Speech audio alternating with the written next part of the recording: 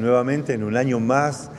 de este lanzamiento de Entepola, este encuentro del Teatro Popular Latinoamericano que nos va a reunir desde el 5 al 10 de octubre, donde vamos a poder disfrutar del mejor teatro popular.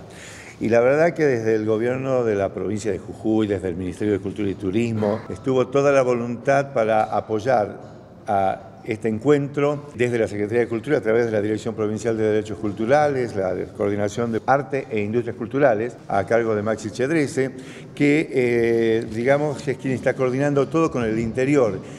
Y este año la verdad que podemos decir que Entepola se hace más federal en, en nuestra provincia,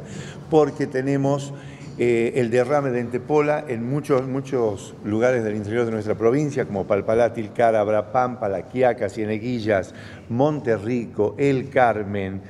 eh, y por supuesto en San Salvador de Jujuy, donde está la sede central, que es el Cine Teatro Municipal Select. Y también esta sala magnífica que va a ser parte de los escenarios que va a tener eh, Entepola.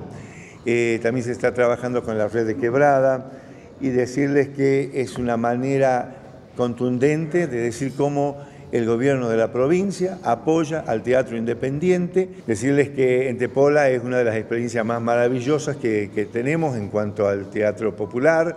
eh, es una fiesta donde el teatro es la excusa, pero que se suman todas las eh, artes para acompañar a este fenómeno popular social que tenemos en Jujuy y sobre todo destacar que hace unos años venimos poniendo un nombre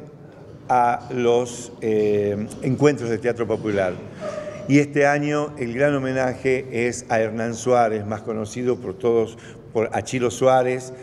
eh, un grande del teatro jujeño que eh, en, en, esta oportunidad desde Entepola y desde la municipalidad, el gobierno de la provincia se ha querido homenajear